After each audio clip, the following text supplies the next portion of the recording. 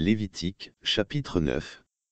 Et il arriva au huitième jour, que Moïse appela Aaron et ses fils, et les anciens d'Israël, et il dit à Aaron, Prends-toi un jeune veau pour une offrande pour le péché, et un bélier pour une offrande consumée, sans défaut, et offre-les devant le Seigneur.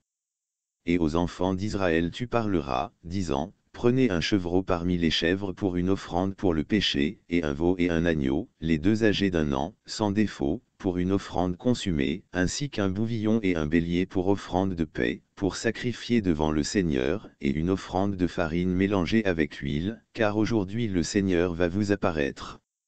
Et ils amenèrent ce que Moïse commanda devant le tabernacle de la congrégation, et toute la congrégation s'approcha et se tint devant le Seigneur.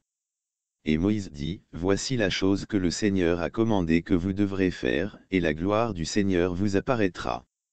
Et Moïse dit à Aaron, Va vers l'autel, et offre ton offrande pour le péché, et ton offrande consumée, et fais une propitiation pour toi et pour le peuple, et offre l'offrande du peuple, et fais une propitiation pour eux, comme le Seigneur commanda. Aaron donc alla vers l'autel, et tua le veau de l'offrande pour le péché, lequel était pour lui. Et les fils d'Aaron lui apportèrent le sang, et il trempa son doigt dans le sang, et en mit sur les cornes de l'autel, et répandit le sang au bas de l'autel, mais la graisse, les rognons, et la membrane au-dessus du foie de l'offrande pour le péché, il les brûla sur l'autel, comme le Seigneur le commanda à Moïse. Et la chair et la peau, il les brûla au feu hors du camp. Et il tua l'offrande consumée, et les fils d'Aaron lui présentèrent le sang, lequel il aspergea sur l'autel tout autour et ils lui présentèrent l'offrande consumée, avec ses morceaux, et la tête, et il les brûla sur l'autel. Et il lava les entrailles et les jambes, et les brûla sur l'offrande consumée sur l'autel. Et il apporta l'offrande du peuple et prit la chèvre, laquelle était l'offrande pour le péché pour le peuple, et la tua et l'offrit pour le péché, comme la première offrande. Et il apporta l'offrande consumée et l'offrit selon la façon et il apporta l'offrande de farine, et en prit une pleine main, et la brûla sur l'autel, à côté du sacrifice consumé du matin.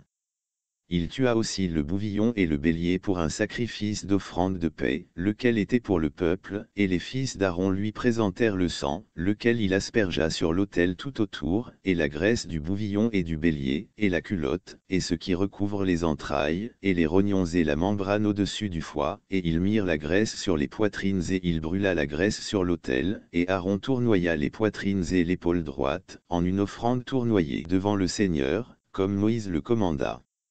Et Aaron éleva sa main vers le peuple, et les bénit, et descendit, après avoir offert l'offrande pour le péché, et l'offrande consumée, et les offrandes de paix. Et Moïse et Aaron allèrent dans le tabernacle de la congrégation, et sortirent et bénirent le peuple, et la gloire du Seigneur apparut à tout le peuple. Et un feu sortit de devant le Seigneur, et consuma sur l'autel l'offrande consumée et la graisse, lequel lorsque tout le peuple le vit, ils s'exclamèrent, et tombèrent sur leurs faces.